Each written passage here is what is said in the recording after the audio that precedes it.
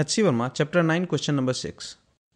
A square plate of edge D and a circular disc of diameter D are placed touching each other at midpoint of an edge of the plate as shown in the figure. Locate the center of mass of the combination assuming the same mass per unit area for the two plates. Since mass per unit area of both the plates is same, the mass of the plates will be proportional to their respective areas. So the mass of the circular plate is proportional to pi d square by 4 and that of the square plate is proportional to d square. Let us take the center of circular plate to be the origin.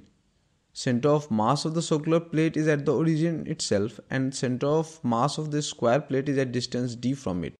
Therefore, the distance of center of mass from the origin is equal to d into d square divided by pi d square by 4 plus d square, which on simplification gives 4d divided by pi plus 4.